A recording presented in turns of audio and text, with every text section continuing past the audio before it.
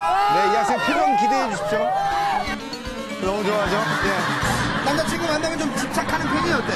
아니에요. 집착은 안 해요. 어, 굉장히 쿨하구나. 그러니까 사람이 바뀌지 않잖아요. 그러니까 그냥 있는 그대로를 좀 사랑하는 스타일이에요. 남자 때문에 눈물 흘려본 적 있다, 없다?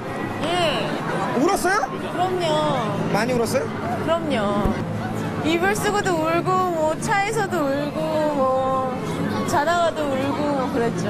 아, 순정파구나.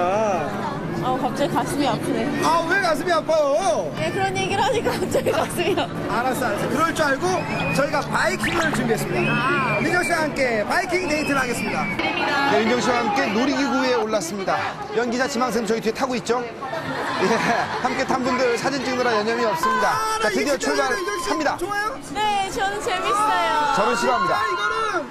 네. 아, 재밌습니다. 첫사랑이 언제예요, 첫사랑이? 아, 첫사랑이요? 고등학교 때! 아, 진짜. 아, 아, 기대. 어, 어디서. 죽으려고 그래. 어디서. 봐. 재밌다, 재밌다! 고등학교. 때? 아! 저 키스는 언제 했어요, 저 키스? 아! 키스는 고등학교 때? 어디서, 어디서? 독서실 앞에? 죽으려고 그래, 어떻게, 어떻게. 어디, 어디? 독서실 앞에! 아, 제발. 네, 저 때문에 인터뷰를 중단했습니다. 아, 놀이기구가 멈추자 좀 살것 아, 같았습니다. 너무 일찍 끝난다. 그 전에 뭐 밥을 먹었는데 제가 속이 굉장히 안 좋았습니다. 정말 어땠어요? 놀이동산에서. 재밌었어요. 오랜만에 타니까 진짜 재밌네요. 어, 그래요. 나 저런 거 좋아하는 것 같아요. 좀 스릴 있는 거. 성악을 전공했군요. 아, 예, 한 2년 정도 했었어요. 그러다가 좀 대중적인 곡은 어떤 걸 배웠어요? 그리운 아, 금강산. 라샤 키오피안. 라시오 키오피아? 그건 뭐예요?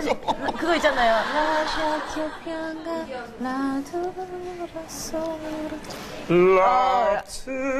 아시죠, 아시죠? 아, 울게 하소서. 좋습니다. 둘, 셋. 안 돼요. 귀엽게 가져가죠? 안 돼요. 질문 다 끝나고 피아노 쳐드릴게요. 피아노. 오, 좋습니다. 자, 그러면은, 자, 제가 모시고 하도록 하겠습니다. 아, 진짜요? 예. 벌써? 우리 막뭐 모든 딴게거 없나? 뭐? 모든 게 생방송. 모든 게 생방송입니다.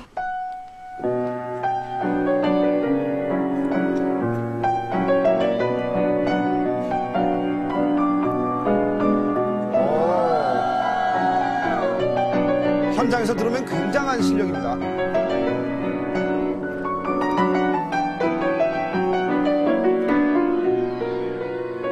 여기까지? 아, 힘들다. 멋졌습니다. 드라마 이번 드라마 주인공 맡은 이번 드라마를 무척 사랑한 모양인데요. 아, 요번에 드라마 이제 제가 딱 끝난 지 얼마 안 됐거든요. 끝나고 쫑파티 하고 나서 집에 와서 그렇게 울었어요. 힘들어도 울지를 못하니까 다음날 계속 촬영이 있고 있으니까 못 울었다가 한 번에 몰아서 좀 울었어요. 한 30분 동안 울었어요. 진짜 그 다음날 눈 이렇게 됐었어요. 지금도 울어요. 평생 연기를 하고 싶다라는 생각을 한 게 이제 관객 평에 오늘 정말 어, 정말 세상은 살만하다고 느꼈습니다. 이렇게 제목이었는데 그 글이 아, 앞으로 나 연기 평생 하고 싶다는 생각을 했었거든요. 아름다운 미소 속에 진정한 눈물의 가치를 알고 그 순수함과 열정을 간직한 연기자 이민정 씨. 앞으로도 살만 나는 연기 부탁합니다. 고맙습니다. 네, 아, 이민영 씨, 아, 정말 저를 위해서 피아노 연주까지 해주시고. 네. 감사합니다. 왜 이러시죠? 아마도 이 스튜디오에 계신 남성분들 다 그렇게 생각하셨을 겁니다. 아, 이민정 씨 남성분들 뭐 팬들 되게 많은데요. 여기 다 계시죠? 아, 정말로. 예. 그래도 저 연주는 저한테 해준 거예요. 뭐라고요? 어, 참안 좋네요. 네. 아, 예, 뭐. 아, 근데 저기 오늘 놀라운 소식 하나 있습니다. 네, 뭐죠? 그 윤영민 씨가 매주 그 다른 나라 말로 인사를 하지 않습니까? 다른 나라에 팬이 있다고 주장을 하면서요? 네. 근데 진짜 그분들한테 연락이 왔대요. 아니, 어, 어디, 어디에서 왔죠? 어디에서? 아, 말레이시아에서 정말로 답이 왔습니까? 어, 저 이모님께서 전화를 주셨습니다. 방송 잘 보셨다고요? 7년 만에 연락이 왔습니다. 아, 정말 얼마나 가슴 뿌듯한지 모르겠습니다. 이모 잘 돌아오셨어요. 그렇군요. 네. 그러면 뭐 말레이시아에 계신 이모님께 답장 한번 하시죠. 예. Good evening everyone and plus my 이모. 아, 말레이시아어로 한번 해볼까요? 아빠가 바슬라마틱 빠땅. 아무튼 월드스타들을 우리 이모와 함께 만나보도록 하겠습니다. 월드스타 핫 뉴스 준비했습니다. 월드스타 핫 뉴스입니다. 비운의 사고로 사망한 것으로 알려졌던 배우 나탈리 우드의 타살설이 제기돼 논란이 되고 있습니다. 나탈리 우드는 1981년 요트에 구명보트를 묶다가 바다에 빠져 숨진 것으로 발표됐었는데요. 이에 영화 007의 본드걸로 출연했던 나탈리 우드의 여동생 라나 우드는 CNN과의 인터뷰에서 언니는 살해당했다고 주장하며 당시 형부였던 로버트 와그너를 용의자로 지목했습니다. 평소 와그너는 아내의 영화 파트너인 크리스토퍼 월켄을 질투했으며 사고 당일 나탈리 우드와 요트를 타는 월켄을 발견하고 부부싸움을 했다고 하는데요. 당시 요트 선장도 나탈리 우드는 사고사였다는 진술이 와그너의 뜻이었다고 폭로했습니다. 올해 80살이 된 와그너는 모든 것을 부인하는 상태. 세기의 여배우를 앗아간 사건의 진실이 무엇인지 결과를 지켜보겠습니다. 안젤리나 졸리와 록그룹 롤링스톤즈의 멤버 믹 재거가 한때 불륜 관계였다는 논란이 일고 있습니다. 미국의 작가 제니폴은 안젤리나 졸리의 삶을 다룬 신작에서 졸리와 믹 제거가 한때 불륜을 저질렀다고 기록했는데요. 작가 제니폴은 1997년 안젤리나 졸리가 믹 제거와 뮤직비디오를 함께 출연하며 당시 유부남이었던 믹 제거와 불륜을 저질렀고 그 뒤로도 만남이 있었다고 주장했는데요. 뿐만 아니라 2004년 영화 알렉산더에 함께 출연한 콜린 파렐과도 만남이 있었다고 저술했습니다. 안젤리나 졸리가 아무런 언급도 하고 있지 않은 상황에 졸리의 새 영화 촬영에도. 문제가 생겼습니다. 함께 촬영 중인 존니 뎁의 부인이 졸리와의 촬영을 반대하고 나선 것이죠. 그녀는 두 사람의 매드신이 있다는 것을 확인하자마자 영화 촬영을 반대하고 있다는데요. 안젤리나 졸리를 둘러싼 수많은 논란들 어떻게 정리될지 기대되는군요. 지난 7일 제82회 아카데미 시상식이 열렸습니다.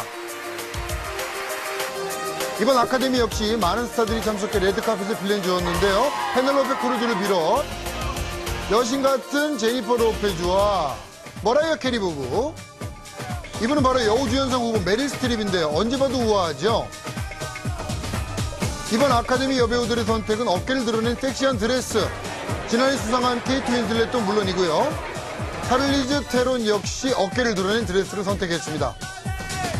반면 시고니 위버는 한쪽 어깨를 가리며 우아함을 선택했네요.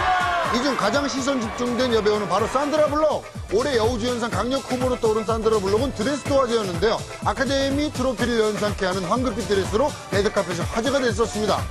화려하네요.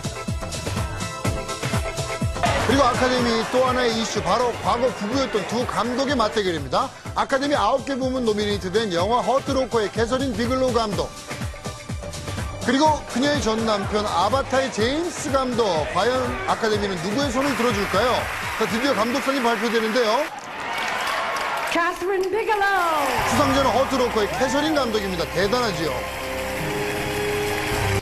아카데미 최초의 여성이 감독상을 수상하는 기록을 만든 캐서린 감독은 오스카 주요 부문 6개 상을 휩쓸며 완승을 거뒀습니다. 정말 역사적인 날이 아닐 수 없네요. Jeff Bridges. 이번엔 남우주연상입니다. 영화 크레이지 하트에서 혼신의 연기를 펼친 제프 브리지스가 남우주연상을 차지해 중년 배우의 자존심을 되살렸는데요. 제프 형님, 아 정말 자랑스럽네요. 수염이 많이 자라셨어요. Sandra Bullock.